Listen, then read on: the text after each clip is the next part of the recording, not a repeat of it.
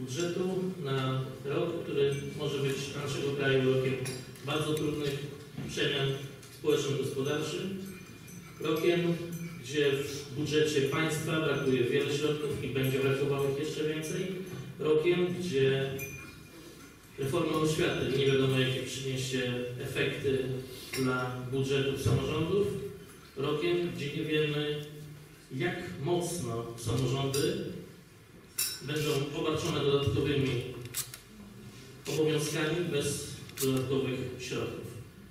Ten budżet wskazuje na to, że sytuacja powiatu głowskiego jest sytuacją stabilną, bezpieczną i świadczy o bardzo dobrej pracy zarządu i Rady Powiatu. Dziękuję. Wysoka Rado, Panie Przewodniczący, członkowie Zarządu Powiatu, Szanowni uczestnicy dzisiejszej sesji. Z klubu Lewica i Bezpartyjni będą głosować za przyjęciem uchwały w sprawie uchwalenia budżetu powiatu głogowskiego na 2017 rok. Uzasadnienie tej decyzji wynika po pierwsze z wnikliwej analizy wieloletniej prognozy finansowej powiatu głogowskiego na lata 2017-2027 ze szczególnym uwzględnieniem dokładnie opisanych objaśnień wartości przyjętych w tej prognozie, w których skarbnik powiatu oraz zarząd powiatu pokazują bezpieczną dla powiatu głogowskiego perspektywę finansową do 2027 roku. Po drugie, ze szczególnego zapoznania się, szczegółowego zapoznania się przez Radę Powiatu i Komisje Robocze z projektem powiatu na 2017 rok przygotowanym przez Zarząd Powiatu oraz po zapoznaniu się z opinią Komisji Budżetowo-Gospodarczej, która zgodnie z przyjętymi procedurami dokonała analizy i zatwierdzenia wniosków z poszczególnych Komisji Rady Powiatu Głogowskiego. Po trzecie,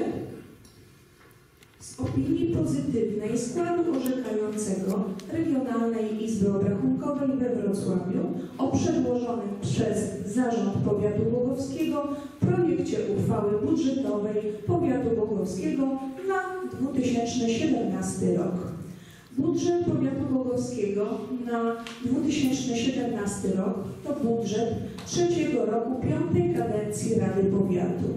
Jego najważniejszą cechą są zapisy służące do bezpiecznego realizowania zadań statutowych powiatu przy jednoczesnym, ostrożnym ukazywaniu zadań, które w przyszłości mogą być realizowane po wnikliwym przeanalizowaniu możliwości uzyskania środków głównie zewnętrznych. W budżecie przyjmuje się deficyt w wysokości 3 704 083 zł, który zostanie pokryty przychodami pochodzącymi z wolnych środków jako nadwyżki środków pieniężnych na rachunku bieżącym budżetu powiatu głogowskiego.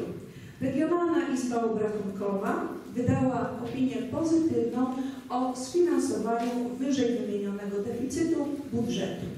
Wysoka Rado, zapoznaliśmy się z pozytywnymi opiniami i stanowiskami Regionalnej Izby Obrachunkowej, Komisji Budżetowo-Gospodarczej, Zarządu Powiatu Głogowskiego w sprawie odpowiedzi na wnioski zgłoszone przez stałe komisje Rady Powiatu do projektu budżetu na 2017 rok, przegłosowane pozytywnie przez Komisję Budżetowo-Gospodarczą.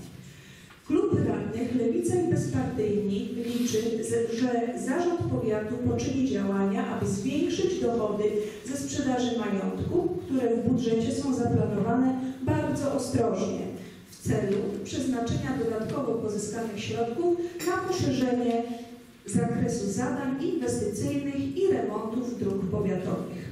Reasumując powyższe, jak już powiedziałam na wstępie wystąpienia, radni klubu Lewica i Bezpartyjni będą głosować za przyjęciem uchwały budżetu powiatu głogowskiego na 2017 rok w wersji przedłożonej na dzisiejszej sesji. Dziękuję za uwagę. Dziękuję. Proszę bardzo radnego Karola Szczepaniaka.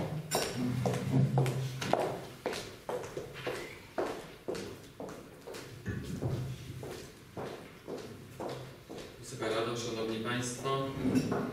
Chciałbym dzisiaj przedłożyć w imieniu klubu e, stanowisko e, do budżetu, o budżecie na 2017 rok. Ono będzie trochę nietuzinkowe. Będzie się wiązało jakby e, z kwestiami związanymi z uchwalaniem budżetu. I budżet na rok 2017 ma jeden podstawowy cel. Tym celem jest zabezpieczenie środków na normalne, bezpieczne funkcjonowanie zadań realizowanych przez powiat, jego jednostki, służby, straży, inspekcji i spółkę. W dzisiejszych czasach to bezpieczeństwo, które podkreślam tutaj bardzo e, mocno, jest najistotniejsze.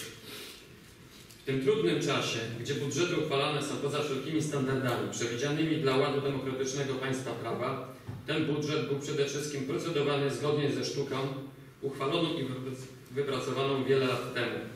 Każdy radny, klub, komisja mogły wnosić do niego poprawki, uwagi i wnioski. Wnioski zostały zrealizowane. Budżet ten będzie przyjęty na sesji zwyczajnej przy całej Radzie e, na sali obrad po złożeniu podpisów przed procedowaniem i zgodnie z zasadą legalności i transparentności. Budżet ten pozwala także na normalne funkcjonowanie i realizację zadań własnych i zleconych wszystkich beneficjentów wymienionych w ustawie o samorządzie powiatowym w roku 2017. Dziękuję. Panie Przewodniczący, Wysoka Rado, padło tu w tym momencie wiele takich ogólnych słów. Ja chciałbym w sumie przybliżyć Państwu, ale również podziękować za sumienną pracę nad projektem budżetu i uchwałą, która za chwileczkę będzie głosowana. Chciałbym tu szczególnie podziękować, że najbliższy projekt budżetu, czy też uchwała, którą za chwilę będziemy głosować, jest tak bardzo skierowany na mieszkańców. Mm, Szczególnie chciałbym podziękować za to ukierunkowanie mieszkańców wsi, oraz na, na ich potrzeby. Co warto stwierdzić, jest to pierwszy budżet powiatu, który przewiduje inwestycje w każdej gminie na terenie naszego powiatu głowskiego. Y, Myślę, że szczególnie wartym ym, zaznaczenia jest fakt, że wszystkie wnioski zarówno rad koalicyjnych, jak i opozycyjnych zostały tutaj przy, przyjęte. Gmina Jerzmanowa, jest tutaj remont y, i przebudowa drogi, drogi Owitrzowskiej, bardzo ważna inwestycja. Kolejna droga w Ruszowicach. Można dalej wymieniać m.in. chodnik w Grochowicach, czy też tak też oczekiwaną przebudowę ulicy Morcinka. Również tutaj nie było to aż tak bardzo zaznaczone, lecz winda w Starostwie, która też ma powstać w przyszłym roku, jest niezwykle oczekiwaną inwestycją przez wszystkich mieszkańców powiatu, szczególnie przez osoby starsze, niepełnosprawne. A z kolei patrząc na kolejne zapisy i projekty, czy też plany inwestycyjne, pierwszy raz w budżecie powiatu włoskiego została zabezpieczona kwota, czy zostanie zabezpieczona kwota na profilowanie i ścigę poboczy w całym powiecie włoskim. Ta inwestycja znacząco podniesie bezpieczeństwo mieszkańców powiatu włowskiego, jakość naszych dróg oraz, co ważne, poprawi ich trwałość na kolejne lata, tak abyśmy nie musieli wykładać kilku, też kilkuset tysięcy złotych na coroczne remonty z powodu zalegania y, wód opadowych na poboczach czy też wzdłuż pas, pasów dróg. Tu również szczególnie chciałbym podziękować za pozytywne zaopiniowanie wniosku dotyczącego dofinansowania parku w Wolszynie. Parku, który jest od- parkiem otwartym. Każdy zna sytuację finansową gminy Państwa, lecz chciałbym zaznaczyć, że w tych ciepłych weekendach rekordowo ponad 50 samochodów potrafi być tam ustawionych i dzieci z całego regionu korzystają z tego, z tego miejsca. Dlatego z tego miejsca chciałbym prosić o pozytywne głosowanie za, e, czy pozytywne głosowanie za przyjęciem najbliższego budżetu. Bardzo dziękuję. Uchwalenia budżetu powiatu głowskiego na rok 2017. Kto z radnych jest za przyjęciem uchwały, proszę o podniesienie ręki.